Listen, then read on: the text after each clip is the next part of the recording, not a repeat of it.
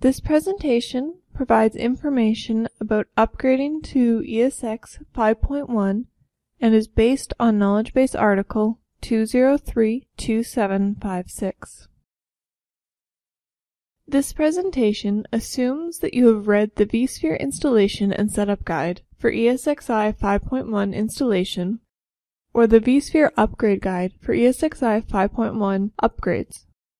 These guides contain definitive information. If there's a discrepancy between the guide and this presentation, assume the guide is correct. VMware provides several ways to install or upgrade to ESXi 5.1 hosts.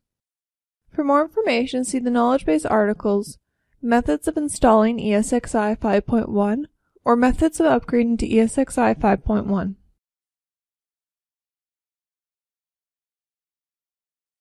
With the introduction of vSphere 5.0, ESX has been discontinued. ESXi is now the only version available for data center server virtualization. Due to the architectural changes from ESX to ESXi, not all configuration files, settings, and third-party tools are guaranteed to be migrated to ESXi 5.x.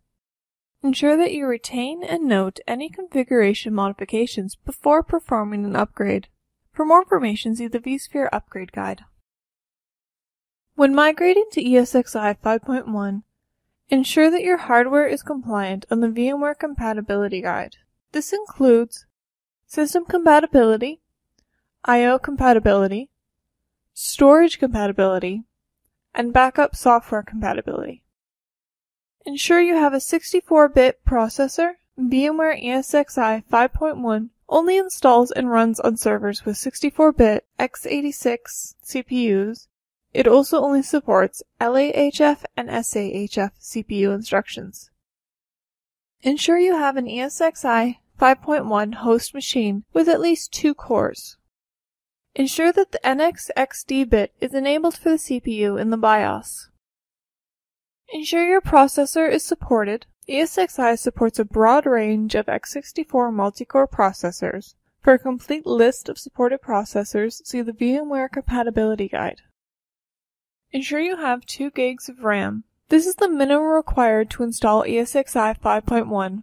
Provide at least 8 gigs of RAM to take full advantage of the ESXi features and run virtual machines in typical production environments. Ensure support for hardware virtualization is enabled on x64 CPUs to support 64-bit virtual machines. For a complete list of operating systems supported for ESXi, see the VMware Compatibility Guide. Hosts running virtual machines with 64-bit guest operating systems have the following hardware requirements.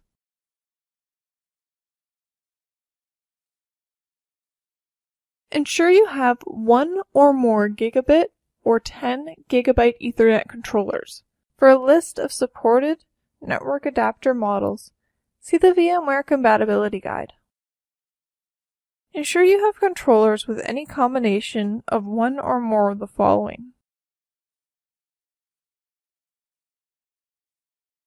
Ensure you have SCSI disk or a local non-network RAID LUN with unpartitioned space for the virtual machines.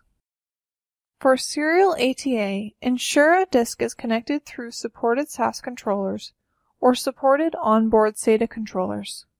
SATA disks will be considered remote, not local. These disks will not be used as a scratch partition by default because they are seen as remote. Ensure you are using a supported storage system. ESXi 5.1 supports installing on and booting from the following storage systems.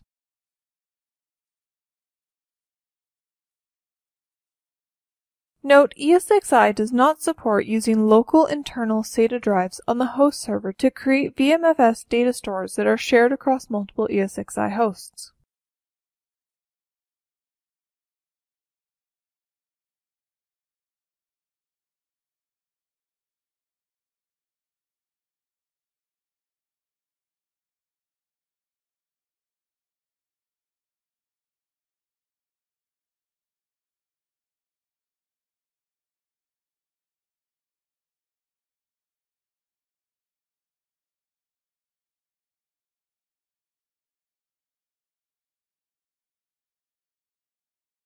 ESXi 5.1 has the following storage requirements.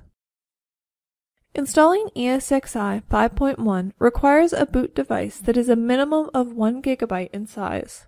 When booting from a local disk or SAN iSCSI LUN, a 5.2 GB disk is required to allow for the creation of the VMFS volume and a 4 GB scratch partition on the boot device. If a smaller disk or LUN is used, the installer attempts to allocate a scratch region on a separate local disk. To reconfigure the scratch, see Set the Scratch Partition from the vSphere client in the vSphere installation and setup documentation. Due to the I.O. sensitivity of USB and SD devices, the installer does not create a scratch partition on these devices. As such, there is no tangible benefit to using large USB or SD devices, as ESXi uses only the first gig. When installing on USB or SD devices, the installer attempts to allocate a scratch region on an available local disk or data store. In auto-deploy installations, the installer attempts to allocate a scratch region on an available local disk or data store. If no local disk or data store is found, the scratch partition is placed on the RAM disk. You should reconfigure the scratch partition to use a persistent data store following the installation. For environments that boot from a SAN or use auto-deploy, it is not necessary to allocate a separate LUN for each ESXi host. You can co-locate the scratch regions for many ESXi hosts onto a single LUN. The number of hosts assigned to any single LUN should be weighed against the LUN size and the I.O. behavior of the virtual machines.